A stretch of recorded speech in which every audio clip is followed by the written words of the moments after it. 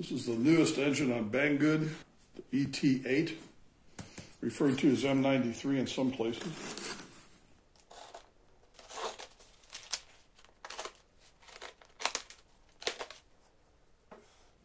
I suggest that you take a picture of your SKU and your shipping label when you receive one of these and keep this packaging until you're sure everything's in good condition, hasn't been damaged in transport or anything.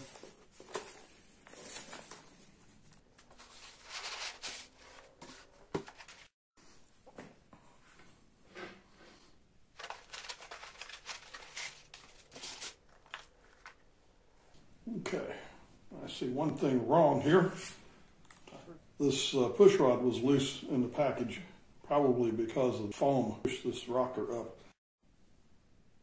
It's easy to reinsert. This goes in here, and you just gently pull back on the rocker and put that in there.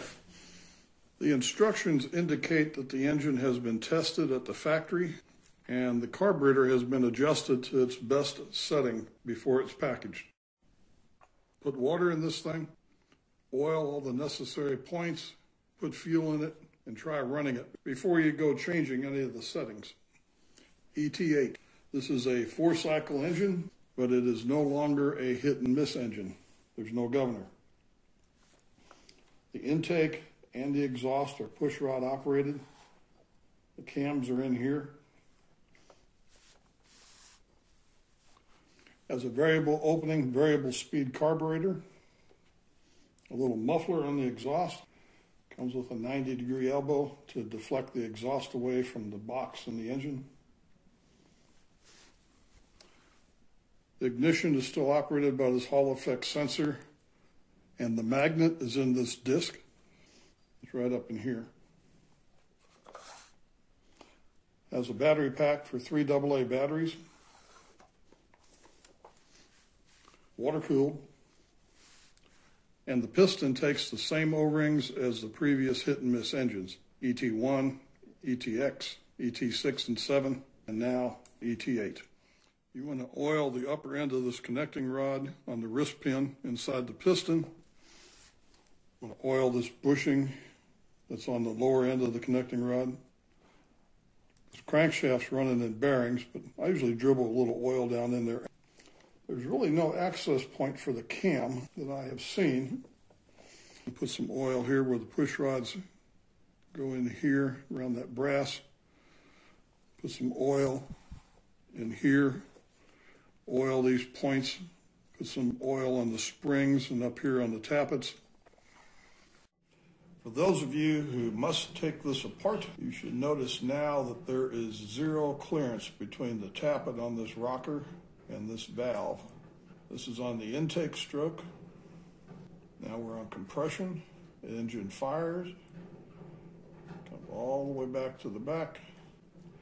Now exhaust valve is just starting to open. We're on the exhaust stroke, and just before the exhaust closes, the intake is starting to open.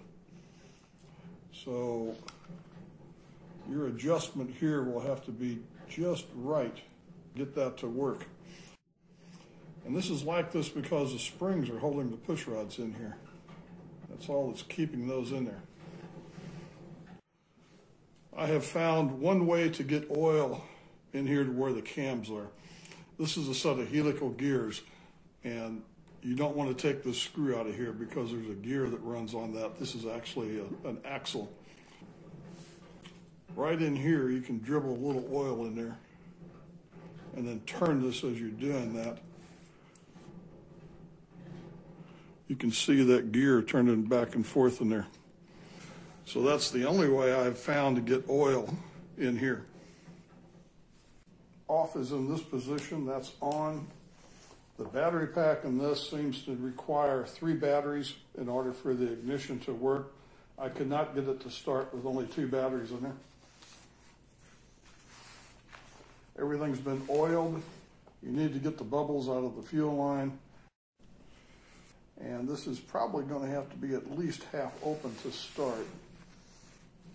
Once this has run, it seems to start pretty easy. I do have water in here.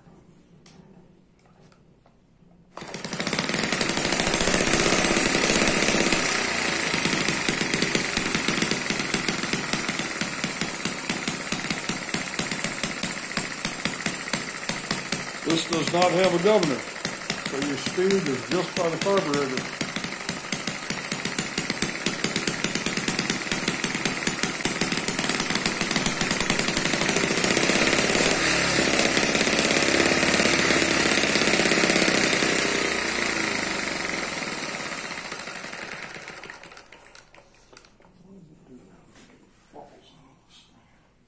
A tank of fuel on this will not last as long as on the hit and miss engine.